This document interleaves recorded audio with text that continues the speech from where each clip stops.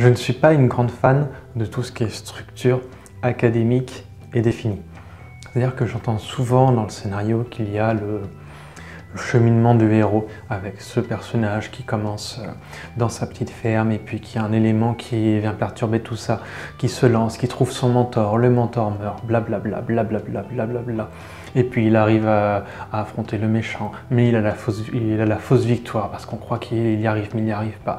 Et puis il retombe au fond du désespoir, mais il s'en sort. Puis là il y a la vraie victoire ou la défaite finale, et puis voilà. Et c'est tout un cheminement avec plein d'étapes déterminées et euh, qui sont des fois présentées comme, euh, bah, comme les règles du, euh, du, scénario, souvent plus que de la littérature, mais sur lesquelles on ne devrait pas sortir.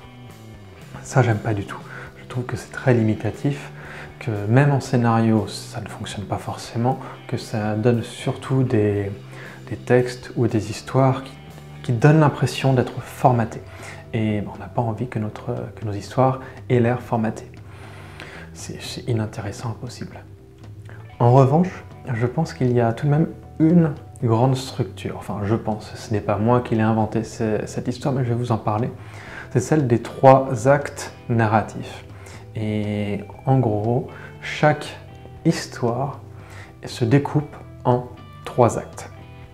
Trois actes que nous allons couvrir vraiment dans, dans les cours qui suivent. Donc à savoir le premier acte qui est très court et qui est un acte d'exposition où on présente l'univers, les personnages, euh, l'intrigue globale au lecteur. Ensuite, on a l'acte 2 qui est le plus grand en, termes de, en termes de taille euh, et en termes de, vraiment en termes de tout. Et là, on a toutes les péripéties que suit euh, le, le, protagoniste pour aller de, bah, de son acte 1 jusqu'au acte 3. L'acte 3 qui est l'après, la conclusion et les conséquences de tout, euh, de tout ça. Donc voilà, donc ça ce sont les trois actes fondamentaux qu'on va couvrir euh, vraiment parce que je pense que ça donne des informations sur la structure d'une histoire et même si c'est inconscient, souvent ça l'est, on se rend pas compte que c'est, euh, on se rend pas compte qu'on les utilise, c'est pas quelque chose, ah bah aujourd'hui je vais utiliser les trois actes, ça ne fonctionne pas comme ça, mais ça permet d'analyser ces histoires et des fois de trouver où est-ce que, est que ça peut ne pas coller.